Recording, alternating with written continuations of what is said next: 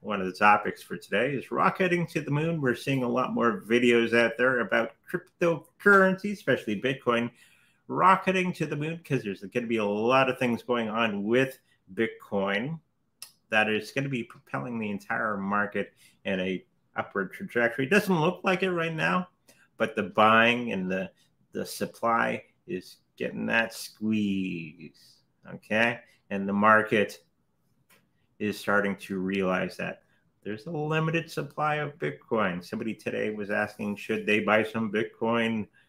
And they're waiting for the slowest price. I would suggest not doing that and get it as soon as you can. Okay, the Bitcoin, because there's a limited supply on the market right now. When everybody, they, they're going to have some other thing that's going to be dumping the market as a whole okay? And everybody's going to sell their crypto at a cheap price, cheaper than they bought in, and the big wigs are going to be buying it up.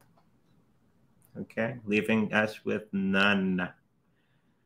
Okay, so just a word of warning it is going to be rocketing up in the next couple months. So be prepared.